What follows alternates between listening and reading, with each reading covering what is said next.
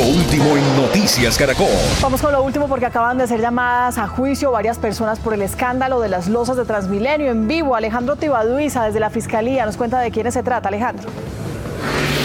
Pues eh, Mónica y televidentes, se trata de los primeros representantes, algunos empleados de cementeras que tuvieron que ver en las irregularidades de las losas de Transmilenio hace 17 años por la autopista norte y en este caso por la avenida Caracas. Estamos hablando de Francis Alberto Bretón, él fue directivo de la empresa Cemex e igualmente el representante legal de Azocreto, José Miguel Paz, y el ingeniero de la misma firma, Diego Antonio Jaramillo Porto. Estas personas deberán responder por su presunta responsabilidad en el delito de peculado. ¿Qué hicieron según la Fiscalía? Ellos cambiaron los materiales para construir estas losas de mm, Transmilenio, de manera que no se les eh, hizo con eh, el material que en ese momento se debía hacer, es decir, con emulsión asfáltica, sino con relleno fluido que debía ser utilizado únicamente para andenes y para las bermas, que son las zonas externas de la vía. Esto sin duda pues eh, derivó un, en un detrimento patrimonial en estas losas de Transmilenio, repetimos,